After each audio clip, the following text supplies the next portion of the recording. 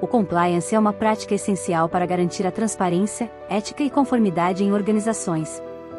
Vamos explorar os benefícios dessa abordagem.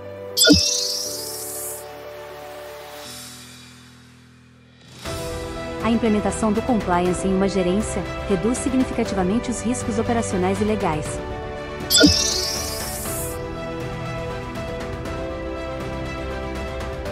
O compliance fortalece a reputação da empresa. Estudos mostram que empresas com boas práticas de compliance têm uma imagem positiva junto aos clientes, fornecedores e investidores.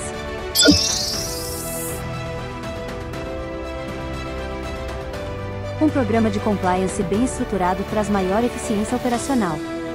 Através de políticas e procedimentos claros, é possível otimizar processos internos, evitar desperdícios e minimizar erros.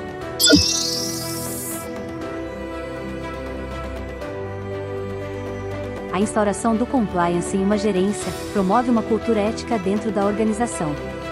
Ao definir valores e padrões de conduta, cria-se um ambiente em que os colaboradores são encorajados a agir de forma íntegra e responsável.